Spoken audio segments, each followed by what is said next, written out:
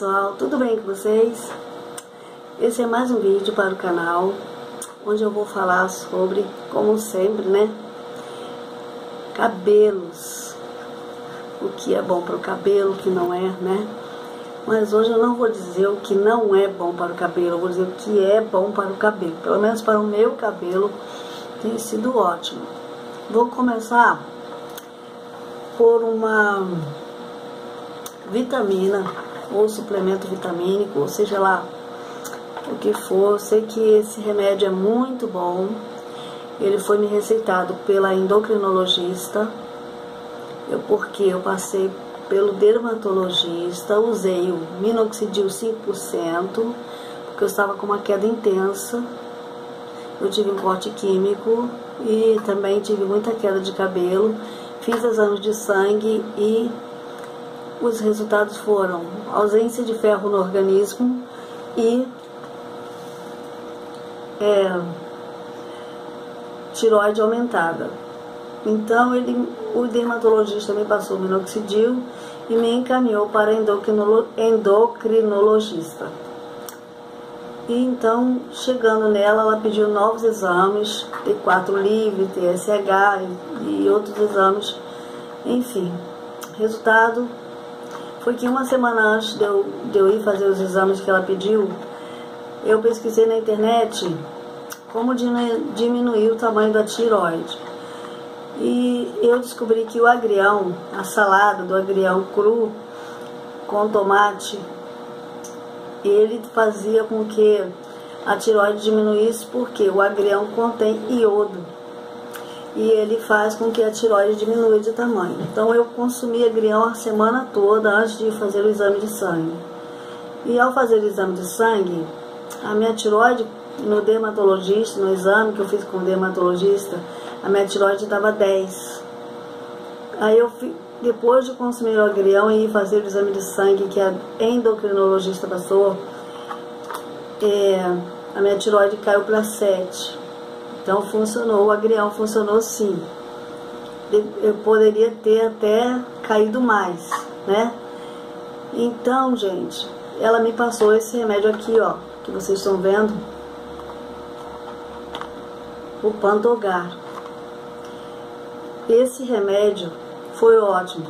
Eu estava com muita queda. Esse remédio fez com que a queda de cabelo parasse, diminuísse, foi diminuindo, diminuindo gradativamente até que parou por vez. Essa caixa aqui vem com 30 comprimidos, está na faixa de mais ou menos 72 reais, onde eu comprei, mas varia de lugar de, de lugar para lugar, né, gente? Então eu estou achando muito bom tomar esse Pantogar, tá ótimo para mim. Outra coisa também que eu não fico sem é essa máscara de reconstrução da Keravit, essa daqui é da pequenininha, essa daqui é pequena demais, eu fui comprar ontem e só achei desse tamanho. Então não me conformei, comprei ela assim mesmo, que eu achei que não iria encontrar da maior, que eu uso muito, gente, eu faço muita reconstrução no meu cabelo. Essa aqui é a Keravit da Bioestratos, ela é de reconstrução tá, gente? Muito cheirosa. Então, eu andando mais para frente, depois que eu tinha comprado a pequenininha, eu encontrei essa daqui de 500 gramas. Gente, essa máscara é super cheirosa. Muito. Olha só. É uma delícia. Eu misturo com mel, com bepantol, com semi de lino Depende do que eu vou fazer no cabelo. Essa máscara aqui é de reconstrução, tá? Eu pensei que ela era de hidratação, mas não é. Uma máscara de capilar de reconstrução. E ela é ótima para o cabelo. Ela contém várias coisas aqui. Só que no momento agora, devido à luz do celular e do computador ligado, à luz da casa, eu não estou conseguindo passar para vocês o que essa máscara contém aqui, mas ela é ótima, tá, gente? Eu super indico. Agora, uma coisa que eu nunca tinha usado e que eu encontrei na loja, sempre bela, eu quero até dar um alô para as meninas lá, para Carol, para Josi, para Ana, para Carla e pra. Nossa, como eu esqueço o nome, sempre esqueço o nome de uma, né? Mas não tem problema não. Quero mandar um beijo para menina, as meninas da loja Sempre Bela, que foi lá que eu comprei. Eu bati o olho assim e falei, gente, eu vejo tanta resenha dessa máscara e eu nunca consegui comprar. Então ontem eu fui lá e só para experimentar, para ver como vai ficar no meu cabelo, inclusive, é, nossa, tem ação antifreeze e tudo mais. Essa máscara aqui desmaia cabelo da Forever Liss. É isso, da Forever Liss. Gente, olha, vou falar pra vocês. A pessoa querendo abrir a máscara pra ver. Mas veja bem, eu ainda não usei, tá? Eu vou experimentar fazer uma hidratação. Essa máscara de, hidra, é, de hidratação ultra hidratante né? Aqui está dizendo que ela que ela contém queratina brasileira, né? De pantenol, colágeno e aminoácidos. Então, gente, é assim, é, me falaram que essa máscara ela tem ação progressiva, ou seja, ela é para quem faz progressiva, mas como eu não vejo ninguém no YouTube falar sobre isso, todo mundo fala que ela é uma desmaia cabelo, que ela faz o cabelo ficar super hidratado, sem frizz, como aqui está dizendo que ela é anti-frizz, a ação dela é bem rápida, né? Então, eu resolvi comprar para experimentar, que até porque a minha máscara de, de hidratação acabou. Então eu comprei essa, eu estava usando a Amo da Ienza, mas eu não estou encontrando em farmácia nenhuma, então eu resolvi substituir por essa para experimentar. Vamos ver o que, que vai dar, né, gente? Depois eu vou postar no canal. O dia que eu usar ela, eu vou postar no canal para vocês. Então, pessoal, esses foram meus produtos que eu adquiri ontem. Às vezes as pessoas falam, mas você só pensa em produtos para cabelo, você só pensa no seu cabelo, não pensa na sua pele, não pensa na maquiagem. Gente, pensar eu penso, mas a grana é curta. E o que eu quero no momento é recuperar o meu cabelo. Eu não sei se vocês lembram, eu postei um vídeo aí no YouTube que mostra o tamanho que o meu cabelo era. Meu cabelo era enorme enorme mesmo. Eu vou deixar uma foto aqui do lado para vocês verem que tamanho que era meu cabelo. Então, quando eu tive o corte químico, por causa de usar química mesmo, sabe? Eu queria, daqui para baixo, eu queria fazer meu cabelo ficar loiro. É, tipo essas mechas californianas, eu queria fazer ele ficar loiro. Então, eu peguei água oxigenada 40 volumes, mais aquele pó descolorante para dourar o pelo do corpo. E misturei e coloquei no cabelo. Gente, caiu daqui para baixo. Eu não tive mais cabelo, meu cabelo ficou ralinho, ficou uma coisa de louco, horroroso. Então vocês vão ver como que era meu cabelo antes do corte químico e depois do corte químico. Olha aí.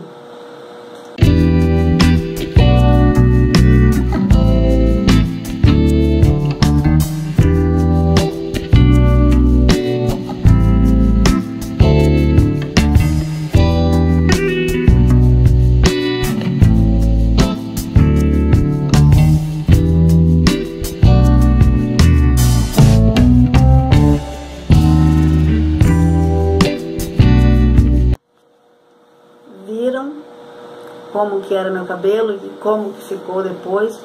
Então, esse foi o resultado, né, da agressividade que eu fiz com meu próprio cabelo, que eu adorava, que eu sempre amei cabelão grande, é, cabelos compridos, eu sempre amei meu cabelo. E eu senti que até meu esposo desgostou um pouco porque eu tive que cortar o meu cabelo. Antes de ir no dermatologista, eu cortei meu cabelo na cintura para tirar aquelas pontas finas, espigadas, ressecadas, sem vida. Quando eu cheguei no dermatologista, ele falou que não precisava ter cortado, que, que tem jeito para isso. Mas, gente, custa recuperar. Meu cabelo está demorando muito a crescer.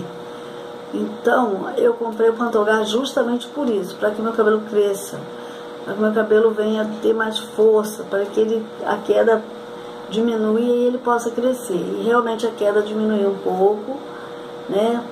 E assim, meu cabelo ele é, ele não tá elástico, ele nem e também nem tá quebrando à toa, ele tá bem forte, graças a Deus.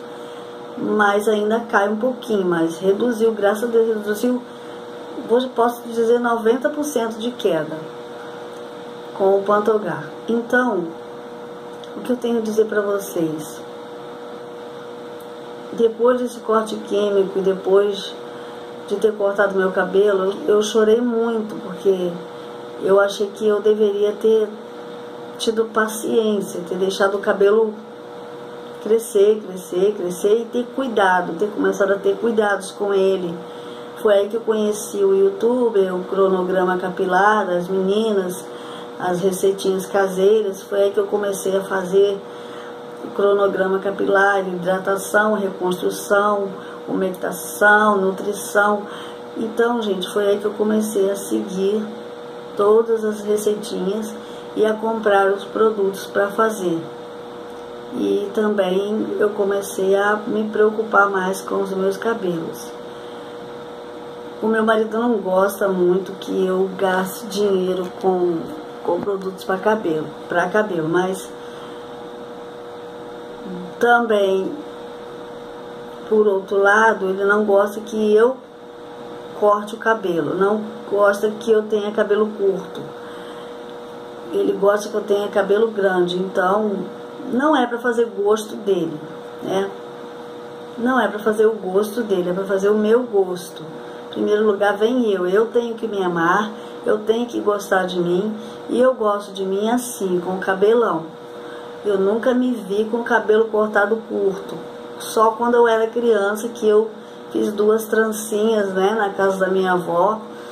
Minha mãe não viu. Eu entrei para dentro do quarto da minha avó, que ela era costureira. Eu peguei, abri a gaveta dela, peguei a tesoura e cortei as duas tranças bem aqui. A minha trança batia bem quase na cintura. Eu cortei as duas tranças e enfiei na gaveta da máquina de costura, junto com a tesoura e vim para casa. Quando a minha mãe descobriu, meu cabelo estava todo despontado, uma ponta comprida, outra ponta curta. Então foi a única e última vez que eu fiz isso. Depois disso, nunca mais. Minha mãe mandou acertar meu cabelo, acertou, e de lá para cá, isso eu te, deveria ter mais ou menos o que? Uns 6 para 7 anos. De lá para cá eu não, eu só venho aparando, aparando as pontas meu cabelo ficou super lindo. Eu fazia é, cauterização com os produtos da Keramax. Eu fazia é, reconstrução. Então, eu cuidava do meu cabelo da melhor maneira possível. Inclusive, eu usava o Monovin A no shampoo da é, o shampoo, no shampoo Clear sem sal, anti-caspa e no condicionador Clear também junto com uma tampinha de Bepantol, nos, nos, tanto no shampoo como no condicionador, junto com o monovinhar. Eu sacudia bastante, aí eu lavava com shampoo, depois condicionava e tudo com monovinhar. E meu cabelo deu uma acelerada no crescimento que ficou ótimo. Depois eu comecei a fazer a cauterização com os produtos da Keramax e fazia a cauterização e pintava os cabelos de castanho bem clarinho. Então, gente, hoje, depois de tudo, de ter sofrido, passado por tudo isso, eu, fala, eu vou falar pra vocês, se eu pudesse voltar o tempo lá atrás, eu não faria o que eu fiz, né? Ter colocado aquela química horrível no cabelo para perder o meu cabelo. Um cabelo que era invejado, um cabelo que era lindo, né? Mas agora é cuidar para que ele chegue novamente ao lugar onde ele estava. Gente, eu posso ficar uma velhinha de 60 anos eu vou sempre querer o meu cabelo aonde ele estava, que era bem nas coxas, bem para baixo do bumbum, assim, bem nas pernas mesmo. Eu sentava em cima dos meus cabelos, então eu quero de volta. Sabe, se algum dia eu morrer, a coisa mais linda que eu quero é que quando me colocarem no... Desculpa, gente, tá falando isso, tá?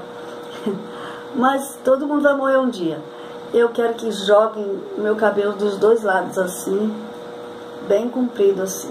E deixem eles assim na frente, assim, todo jogado. E coloquem bastante rosas, assim, cor de rosa no caixão. Esse, esse é o meu sonho. Mas deixa a morte pra lá. Vamos falar de vida que viver é muito bom. Então, gente, esse é o vídeo que eu tenho pra vocês hoje. Eu vou experimentar essa máscara aqui, tá? Que essa é a novidade que, que eu ainda não conheço. Vocês que já conhecem sabem se é boa, se não é.